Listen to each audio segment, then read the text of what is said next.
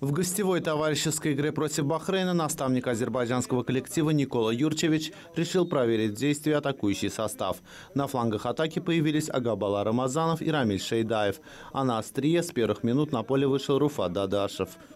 Центре играли Эдди Срафилов, Ричард Алмейда и Эмин Махмудов. Новая игровая модель дала свои плоды по итогам встречи.